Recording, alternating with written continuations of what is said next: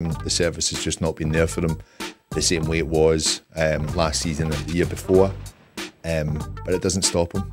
It doesn't stop him. I think he's just a, a, a natural goal scorer. I think he's just ready, ready to pounce at any point. Um, he misses chances. I think that's the the the thing that we we've came to accept with Kyogo, and probably why he's, he's playing with Celtic. Um, no offence to him, but my God, I'm, I think we're lucky to have him just now, and I think we're going to get him at, um, at his prime. Yeah. I really do. Um, it reminds me we signed Henrik Larsson at the age of 27, mm-hmm. and I think that we've seen what he he turned into be for us, and I, and I just think that he'll maybe not hit, hit the heights of Larsson, especially in this day and age. Um, but he's going to be massive for us, and he keeps getting exposure to big games, and he keeps turning up in big games. So.